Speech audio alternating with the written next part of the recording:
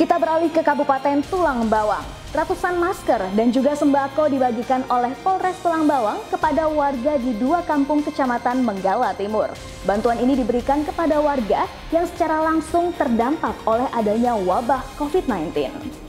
Salah satu upaya dalam membantu ekonomi warga yang terdampak COVID-19 datang dari Polres Tulang Bawang.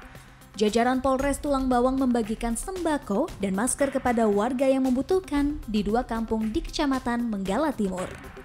Selain memberikan bantuan sembako dan masker, anggota polisi juga melakukan pemeriksaan kesehatan kepada warga. Saat ini, dua desa yang dibantu oleh Polres Tulang Bawang tengah melakukan karantina mandiri untuk mencegah penyebaran virus corona di kampung mereka. Terus apa yang dilakukan Pak? Ya di rumah aja nggak ada.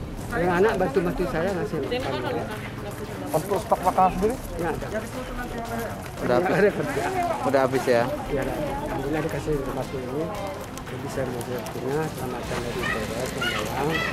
Jadi rumahnya, alhamdulillah ada bantuan. ya sekarang ya ada kegiatan seperti ini mungkin setiap hari nanti Polres melaksanakan kegiatan seperti ini. Tujuannya apa? Ya setidak banyaknya memberikan bantuan kepada masyarakat. Kemudian juga nantinya memberikan edukasi terhadap masyarakat karena memang pada saat ini juga saya lihat masyarakat belum terlalu paham juga dengan keadaan situasi sekarang. Kan.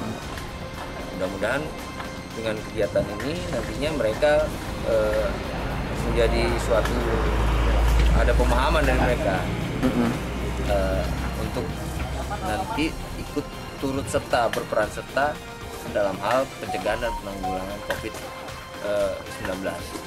Dari Kabupaten Tulang Bawang, Rahman Wijayanto, Metro TV.